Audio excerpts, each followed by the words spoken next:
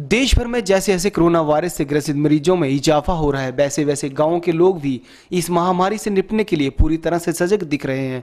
Corona virus महामारी को देखते हुए करेर पंचायत के तहत आने वाले गाँव शुक्करखड़ के निवासियों और बाढ़ पंच निर्मला के द्वारा गाँव की गलियाँ, रास्तों और हर घर में जाके सैनिटाइजेशन का काम किया जा रहा है। इस मुहिम में बाढ़ पंच के साथ अन्य गाँव वासियों ने भी सहयोग दिया है।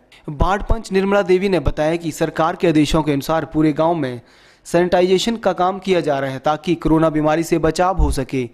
निर्मला शर्मा, घुनसोई वार्ड पंच घुनसोई गाँव की वार्ड पंच हूँ और हमने पूरे गाँव में ये गाँव को सैनिटाइजर किया है। ये जो बीमारी फैली है, पूरे विश्व में फैली है, इसको खत्म करने के लिए हमने पूरे गाँव को, घनसुई गाँव को सैनिटाइजर किया है ताकि ये सारी बीमारी जड़ से खत्म हो जाए और लोग सुरक्षित हो।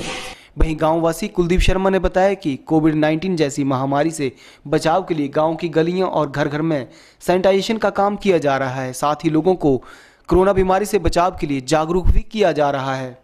शर्मा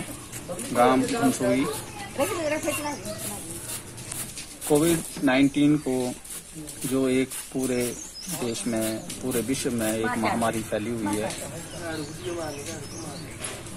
इसको जड़ से उखाड़ फेंकने के लिए गाँव घुमसुई में पूरे गाँव व गलियों को सैनिटाइज किया जा रहा है, जिससे यहाँ के लोग सुरक्षित रहें और